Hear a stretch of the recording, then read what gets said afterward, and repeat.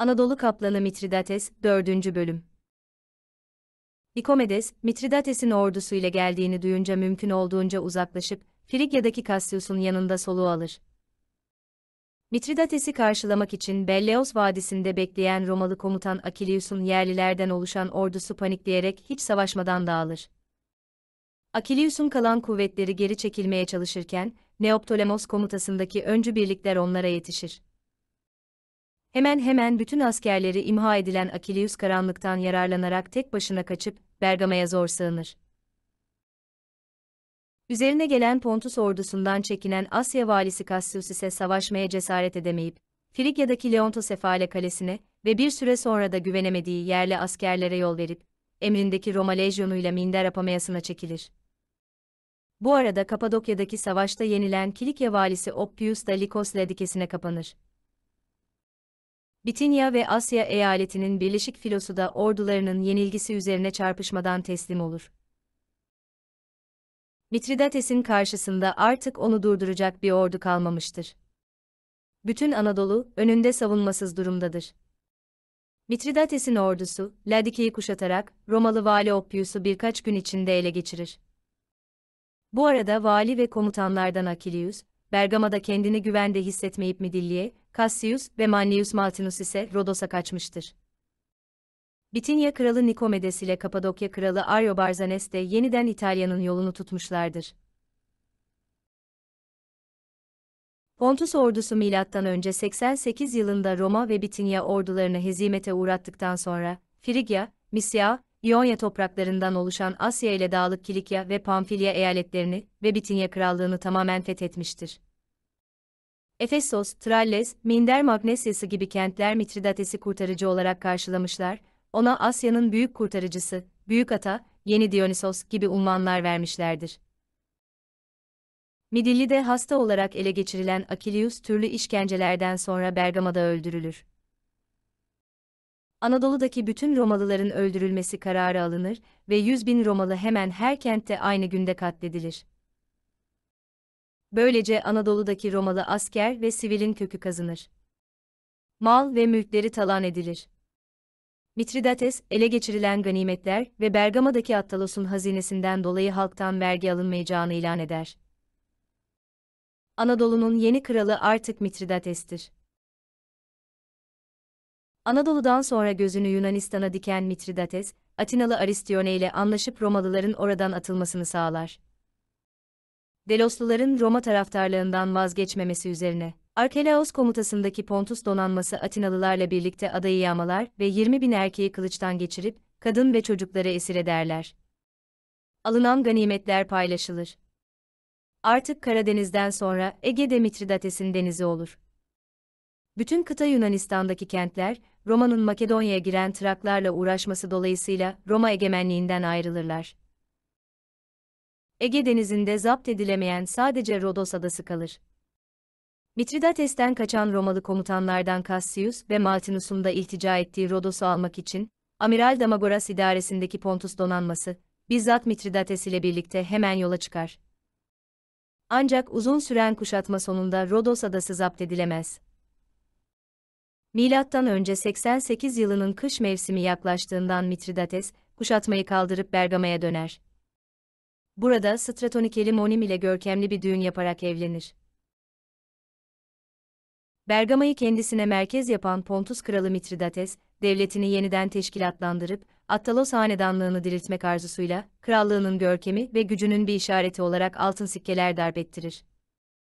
Ne var ki Roma, bu yeni Anadolu devletinin filizlenmesine rıza göstermeyecektir. Milattan önce 87 yılının başında Roma'da hakimiyeti ele geçiren Cornelius Sulla, Pontus kuvvetlerinin Yunanistan'da ilerlemelerini durdurmak ve kıta Yunanistan'ı tekrar zapt etmek üzere 30 binden biraz fazla sayıda ordu ile Epir kıyısına çıkarma yapar. Sulla kuvvetleri Teselya ve Etolya arasından Beotya'ya girer girmez, Attika ve Evboya haricinde Tebai başta olmak üzere güneydeki bütün kentler Roma tarafına geçerler. Bunun üzerine Pontus ordusu komutanı Arkelaos Pireye, yerel ordunun komutanı Aristione de Atina'ya çekilir. Sulla her iki kenti de kuşatır ama ele geçiremez. Roma ordusunun bir kısmı diğer Helen kentlerini yağmalayıp tahrip ederler. Roma ordusu Yunanistan'da oyalanırken, Mitridates'in oğlu Kapadokya kralı Ariarates ile Pontus komutan Taksil, Trakya ve Makedonya'nın zaptı ile uğraşmaktadırlar. Bundan dolayı Yunanistan'da kuşatma altındakilere yardım gönderemezler. Ne var ki kuşatmaya daha fazla dayanamayan Atina, önce 86 yılının baharında düşer, Roma ordusu kenti yakıp yıkar, bütün Atinalıları öldürür. Aristione, az bir kuvvetle Akropol'e sığınır. Atina düşünce Sulla, Pire'ye daha fazla baskı ile saldırır.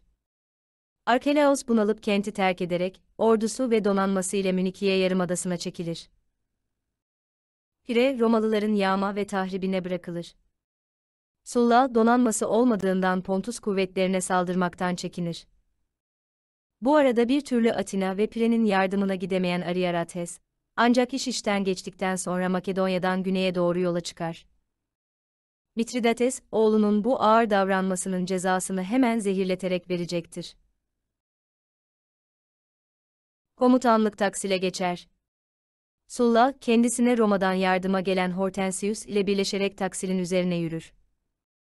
Bunun üzerine Arkelaos da Taksil ordusu ile birleşir. Pontus ve Roma ordusu Beotya'daki Kaironea'da karşılaşırlar. Burada yapılan şiddetli bir savaşta Arkelaos ve Taksil'in 60 bin kişilik ordusundan ancak 10 bini sağ kalır. Onlar da savaş alanından kaçarak Kalkis'e sığınırlar.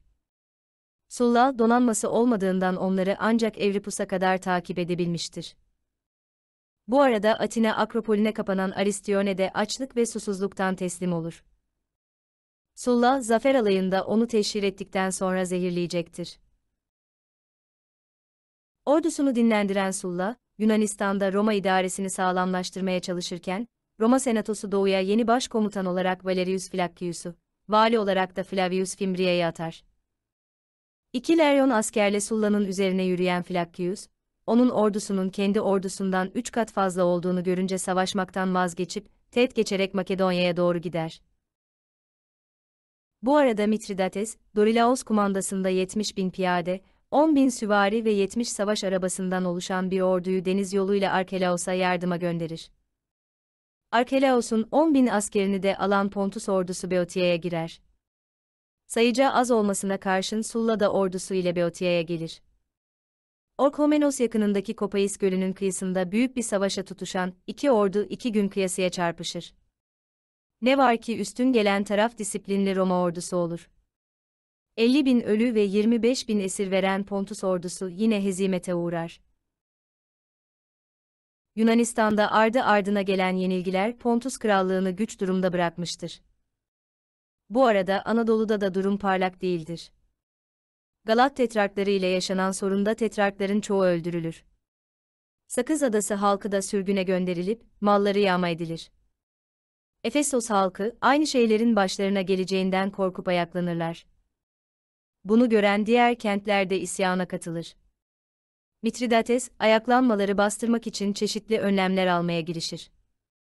Ancak Mitridates'in gittikçe despot bir yönetime kayması, Anadolu halkının, iki yıl önce atılan Romalıları artık kurtuluş umudu olarak görmesine yol açmıştır. Bu arada Makedonya'daki Trakları yenen Flaccus idaresindeki Roma ordusu, Anadolu'ya geçmek için önce 85 yılı başında Bizans önlerine gelir. Bu arada Fimbria'nın kışkırtmalarıyla ordu ayaklanıp Bizans'ı yağmalar. Komutan Flaccus ise Kalkedon'a ve oradan da Bitinya'daki Nikomedia'ya kaçar. Fakat burada askerler tarafından yakalanıp öldürülür. Fimbria, Senato tarafından Flaccus'un yerine geçirilir. Bitinya'yı işgale başlayan Fimbria, önce Nikomedia'yı yağmalatır. Yunanistan'da sıkışıp kalan Sulla ve Arkelaos arasında, önce 85 yılının başlarında Delion'da barış görüşmeleri yapmaya başlanır. Ayrıca Arkelaos, Sulla ile gizlice bir anlaşma yaparak kendi başının çaresine de bakmıştır. Anlaşmaya göre Pontus kralı 3 yıl önceki sınırına çekilecek, Sulla'ya da 70 gemi verecektir. Anadolu'daki isyanlardan başka Yunanistan ve Makedonya'nın Sulla'nın, Bitinya'nın da Fimbria'nın eline geçtiğini, bir yandan da Bergama'nın kuzeyden Fimbria ve güneyden Sulla'nın yardımcısı Licinius Lucullus tarafından sıkıştırıldığını gören Mitridates, bu anlaşma maddelerine razı olur. Devamı var.